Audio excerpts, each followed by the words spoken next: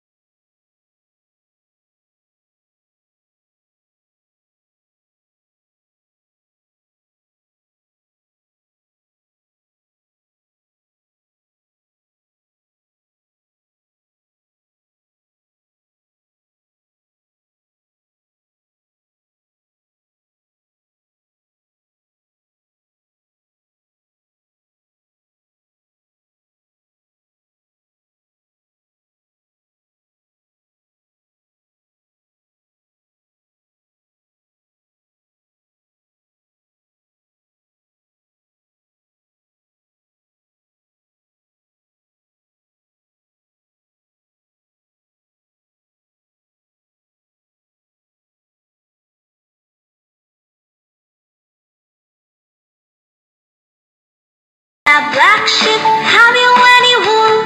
Yes,